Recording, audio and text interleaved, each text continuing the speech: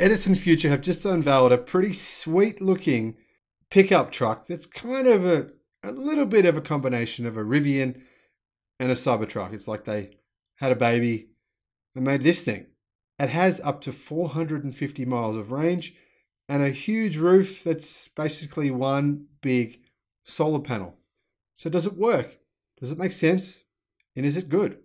Hello, my friends. You are watching The Electric Viking. Welcome to the channel. My name is Sam Evans, and I'm coming to you here from Melbourne, Australia. Thank you to all those of you, of you who have jumped on our Patreon account and become supporters of the channel. And thank you to those who have become members of the channel. Now, remember, if you become a member, you get access to our videos 24 to 48 hours in advance. So I'll put a link in the description below to how you can become a Patreon and a member. Now, Electrek has just reported that infant EV brand Edison Future debuted two truck concepts at the LA Auto Show this year, aiming to bring both models to market in 2025. Too late, in my view, but hey, it still might work. Now, hopefully, they can accelerate that timeline because we need them sooner, and by then, I think there'll be a bit of market saturation. One concept in particular, the EF1T, is quite interesting looking and long. Very, very long. Like as in super long. Yeah, you get my point. It's long. While the ordinary, while the company may not be trying to compete with Tesla, Electrek says, but I'd say they most certainly are competing with Tesla and Rivian. The EF1T pickup could certainly attract some Cybertruck fans if they can't get their vehicle in time, considering Cybertruck already has 1.35 million pre-orders and could be over 2 million by the time they start production, probably mass production in 2023. Edison Future is a new passenger EV brand created by Phoenix Motor Inc. in Ontario, Canada, but that's a bit misleading. I believe the parent company is actually Chinese owned. Edison Future now joins Phoenix Motorcars as a dual brand strategy under the, under the same larger EV umbrella. Furthermore, Phoenix Motorcars exists as a wholly owned subsidiary of SPI Energy, which focuses on renewable energy, particularly solar, a key feature on the Edison future vehicles. Now, does the solar make sense? It actually covers the entire roof, and then you actually have a fold out bed cover, which it covers as well. Well, yes and no. Obviously, you're adding a fair bit of weight to the vehicle, so it's not going to give you a whole lot of benefit considering you're, you're carrying a bit more weight with you. I think the bed would make even more sense if it folded out so that when you're camping, you could fold it right out to be, say, triple the size. To me, that will be the one feature. Whoever makes that as an accessory to an electric SUV or an electric pickup truck, they're going to have a huge market because you can imagine if you're going to a camping site, well, then you want to carry with you your big solar panel that folds out to be, say, three times bigger than your pickup. That could be, say, the, the roof of your tent, or that could be an awning or something which you go under. That would make a lot of sense because then that massive size would actually make sense to bring with you. But do you really want to carry that weight with you every day? Yeah, I'm not so sure it makes sense in that regard. Now, tell me, what do you think? Would you buy one with this, the big solar panel over the top? Would you buy one of these at all? Now, this pickup is big. It's bigger than it looks. And I think in the pictures without the funky solar bed folded up in the back, it actually looks pretty good.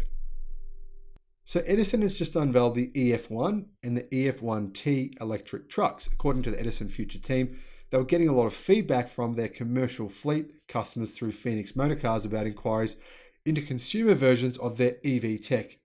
Now, the Edison Future team is the first to admit that these are still just concepts and the production versions will certainly vary based on consumer feedback, which it welcomes and enhances as it seeks future prototyping and production. While this new consumer EV brand remains in its infancy, Edison Future is bringing its entire team and technology from Phoenix Motorcars to aid in the effort, many who have been developing proprietary EV technologies for over a decade. So there's quite a bit of experience quite a bit of experience here in this team. That puts Edison Future at an advantage in terms of design and production infrastructure, but it will still need to make a splash with the new brand and achieve actual production to truly have a chance of making it, of succeeding. I think, in addition to that, it probably needs investment from other companies as well. Now, that could begin with the EF1T, which caused a lot of people apparently at the motor show to stop and look, uh, and I, for good reason. It's it's striking. Now, of the two electric vehicles that debuted in LA, Electrek says that the EF1T stood out because of its similarities to the Cybertruck, but even more so for its sheer size alone. Now, I don't think there's a lot of similarities here to the Cybertruck. I think it looks very different to the Cybertruck. I think entirely different. What do you think? Do you see similarities between this and the Cybertruck? At a time where we are just beginning to see fully electric pickups, many automakers have been shifting to smaller crossover style SUVs. It's interesting, isn't it? Because I mean, Cybertruck has 1.3 million pre-orders. Ford now have more than 200,000 pre-orders for their electric F-150 Lightning pickup, and Rivian have more than 50,000 pre-orders. If you put all those together, that's over 1.5 million pre-orders for electric pickup trucks in America. The demand here is just astronomical. The EF1T looks like it could eat a Nissan Leaf and spit out the license plate, especially when you see how long it is up close, say journalists. Now, with its future line of pickup trucks, Edison Future is focused on pushing electric vehicle adoption rather than competing against specific automakers already in the space, they say. Now, this is what the Chief Marketing Officer Jose Paul Pacal said.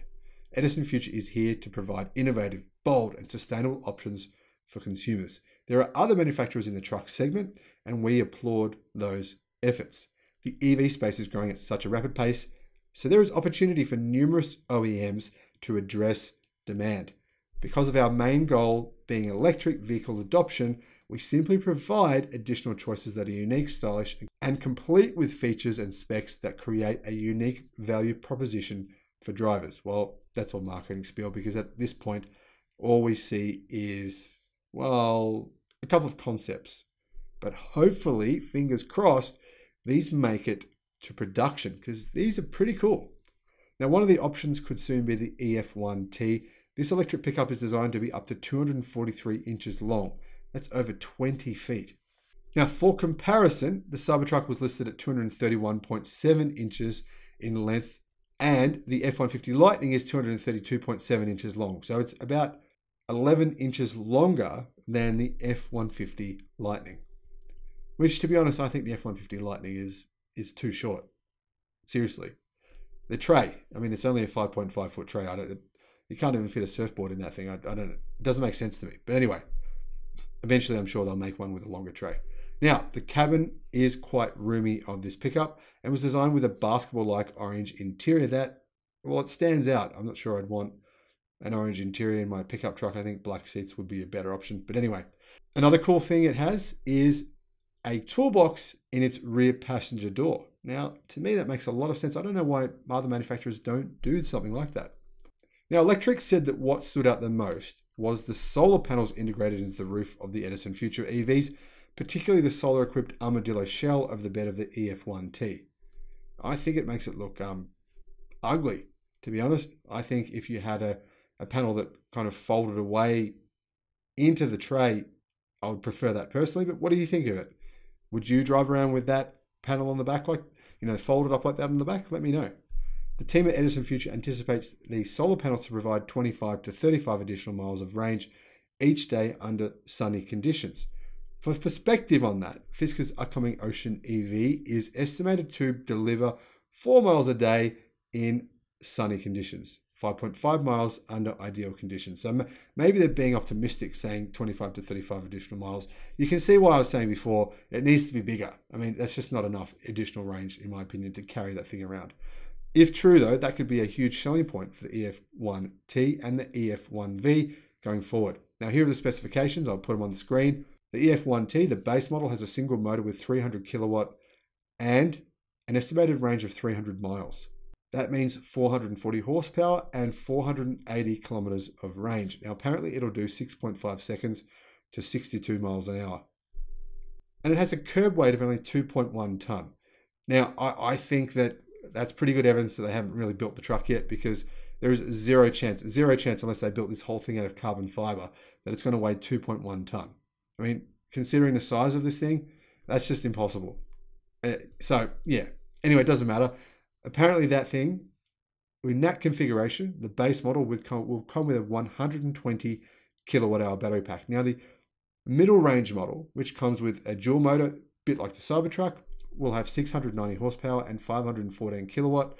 It'll also have a 380 mile range with 610 kilometers in the metric scale. Apparently, it'll do 4.5 seconds to 62 miles an hour or 100 kilometers an hour, and it only weighs 2.2 ton with a 150 kilowatt hour battery pack. Now, apparently, that model will tow 9,000 pounds, which is 4,000 kilo. Now, the top model is the tri motor, has three motors and 816 horsepower, which is 600 kilowatt, 450 miles of range, and 720 kilometers of range. Will do 0 to 62 miles an hour, 0 to 100 in 3.9 seconds. And it only weighs 2.3 ton with a 180 kilowatt hour battery pack. So, yeah, like I said, unless it's all made out of carbon fiber and titanium, then it's not going to weigh that. It'll probably weigh an extra 500 to 600, maybe even 700 kilos more than that. Now, the top model will tow 11,000 pounds or 5,000 kilo, which is pretty good. For those of you who are asking for a pickup truck that can tow and do, say, 500 kilometers of range, well, this could be it. Now, obviously, there is quite a number of different car makers now in America and in China making electric pickup trucks, or, or at least planning on making them in stages of development. You've got General Motors, Ford, Rivian, Tesla, in China, Great Wall, BYD, and another company making an electric pickup truck as well. I'll put a link in the description below to that other Chinese company. And to the video that I made about all the electric pickups that are coming over the next few years and when I think they're they will actually come to market. Now, just so you know, I think that was one of the best videos that I've done before. I think my predictions will be fairly accurate and I had good reasons for why I made them. Now, Edison Future is worth taking note of because of its correlation with Phoenix Motorcars, which are an established commercial EV manufacturer developing and implementing a lot of its own technology. So it appears as though this isn't just going to be vaporware, it will be a real pickup and, well, a real vanny, long, long, long, long van as well. Now, at this point, these vehicles are just concepts. It's going to take a boatload of money to turn them into the real thing. But I'm going to be honest with you. If anyone can do it, it's the Chinese. Because you know what? It doesn't take them 12 years to make an electric car like it took Rivian. Don't get me wrong, Rivian's pickup is fantastic. There's no company in China, though, that's going to take 12 years to bring an electric car to market. They do things damn fast over there. And, you know, sometimes yeah, with different results, but there are some really impressive electric cars in China.